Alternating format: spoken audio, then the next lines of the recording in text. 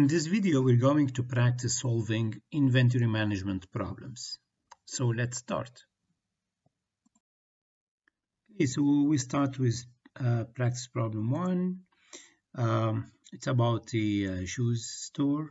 Um, the manager is wondering what should be the optimal uh, order quantity for this kind of shoes.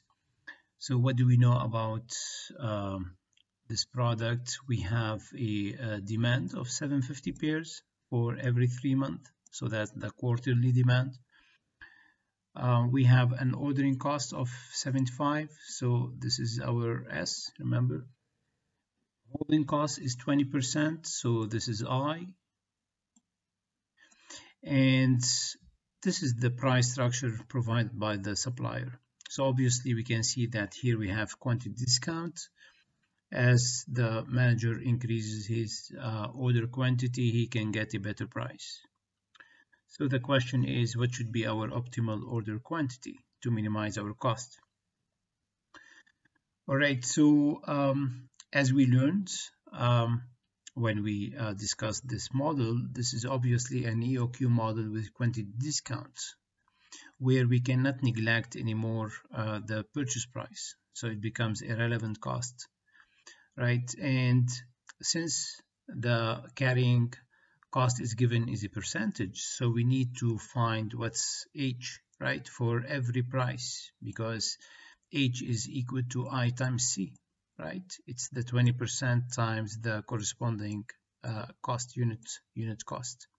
So here I'm going to add a column where I uh, determine the H or the unit carrying cost per unit per, per year for every uh, price interval.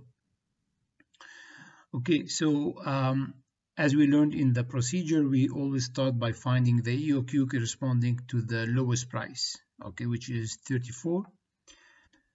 So I'm giving here a subscript for the EOQ because we're going to um, we're going to determine different EOQs so that you don't get confused I'm giving the subscript. So this EOQ correspond to a price of 34.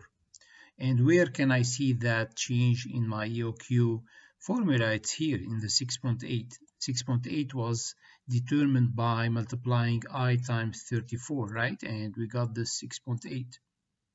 So we get 257. But before we proceed, let's find these parameters. How did we get them? Uh, 75 it's already uh, discussed. It's this is the ordering cost. And 3000 what's that 3000 okay we are told that demand every three months is 750 which means the annual demand. Remember in the EOQ formula here uh, th this D um, denotes the annual demand. So that gives us an EOQ of 257 now we look and compare the 257 to the range that uh, the supplier is providing us.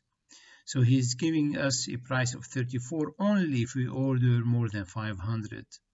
Since the EOQ is 257, so remember we said this is not a feasible quantity. It does not make us eligible for this uh, price discount.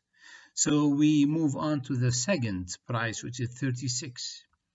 So also here we find the EOQ. Again, here you notice that I'm giving the subscript and it's 250. We compare it to the range 350 to 499 and it's out of the range. So which means this is not feasible also, right? So it's not it's not a feasible quantity. It cannot give us that price discount. And you, you notice here that I use a different uh, uh, carrying cost per unit, different than the 6.8 that I used here, right? Because when the price is 36, H is 7.2 now, and that's why I got a different value for the EOQ. Now we start, we, we move on to the EOQ of the uh, higher price, which is 38. Also here you notice that I use a different h, which I got it here by multiplying uh, 20% by 38. So I get 7.6. I plug it here and we get 243. 243 is also outside this range so it's not feasible again and that's why I have to move on to the last EOQ corresponding to the price of 40 so also here I used a different H which is 20% times $40 and we get 237 units which is of course uh, uh, feasible because it lies within this range. Now remember that this is not we cannot now conclude that this is our best quantity because that happened to be an EOQ no what we have to do next is we need to compare the total relevant cost corresponding to 237 units with the total relevant cost corresponding to every breakpoint quantity. What are the breakpoint quantities? These are the minimum quantity that will give us a better price. So the first one is 250, which give us a better price of 38, better than 40. Also, I have another breakpoint quantity, which is 350, give us a better price of 36. And the last breakpoint quantity is 500 because beyond that or starting from that quantity, I can get a $34. So let's go on and find the total relevant cost of these four uh, quantities, the EOQ of 237 and for the 250, 350 and 500. Okay, so let's um, find the total relevant costs uh, for every uh, quantity that's um, um, that's possible for us. So these are our options and then we'll decide uh, the best option. Uh, before doing that, uh, let me just remind you uh, of what we found in the previous slide. So given this price structure given to us by our supplier and we found the carrying cost ourselves so that we can find the corresponding EOQ. So these were the EOQs that we found. Okay, um, and we found this one to be a feasible one while this is not feasible again let me remind you why these were not why we said that these are not feasible because if we order 243 which is the optimal quantity given this price which and then allowed us to find this carrying cost. So this is the optimal quantity, but if we order that, the supplier finded that it's not in the range that he specified for us, so he was not going to give us this price, right? So that's why we said that this is not feasible. So we don't have the option to order these quantities uh, if we want to get these prices. However, this does not mean that we cannot benefit from the price discount anymore. No, in fact, we can all right. So I'm going to add here one column um, that specifies what then would be the best quantity for every range. And here we go. Of course for the first one the best quantity is nothing but the EOQ because we learned that in the EOQ model that this is the best quantity to order. And since it was feasible so this is our best quantity. However in the three other ranges okay. The best quantity would be because the EOQ were not feasible so we're going to go for the breakpoint quantity for every uh, interval. So you see this comes from from here. This is the breakpoint quantity that then the supplier will accept to give me the price the discounted price. And the 350 is the same. This is the breakpoint quantity and the 500 again it's the breakpoint quantity. All right. Now you may wonder then okay if i want to benefit from uh, the price discount of 38 or the discounted price of 38 why would i go for 250 why not more? Why not 260 300 whatever as long as i'm within the range?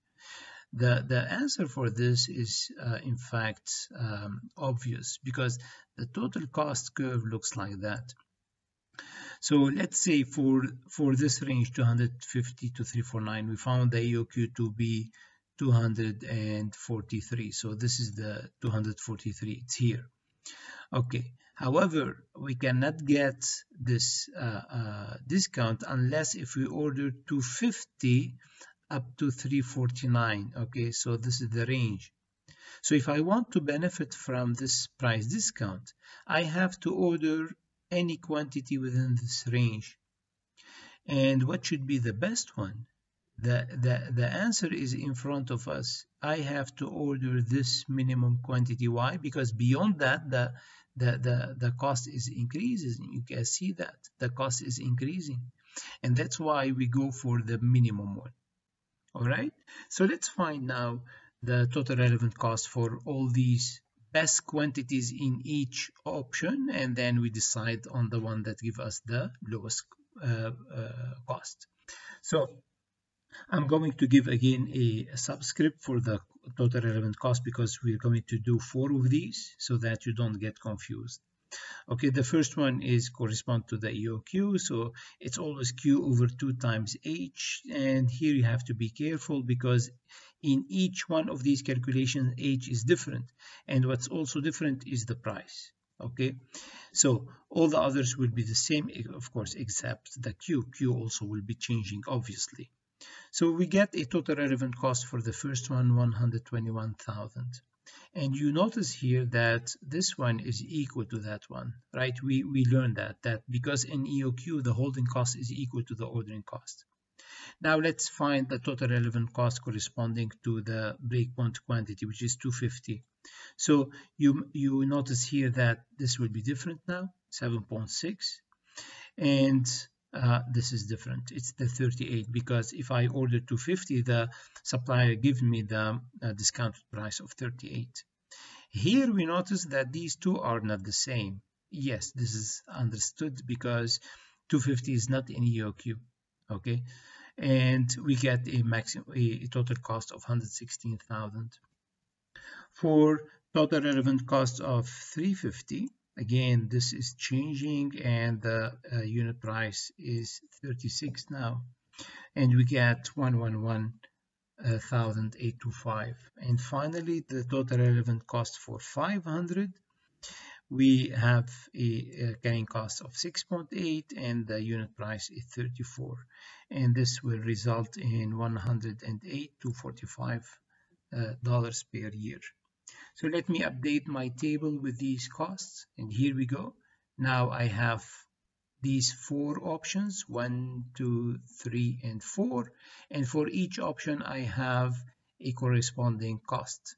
So obviously we're going to choose the option that give me the minimum cost and this is the one. So I'm going to order 500 pairs. Okay, so I hope that this is clear for you.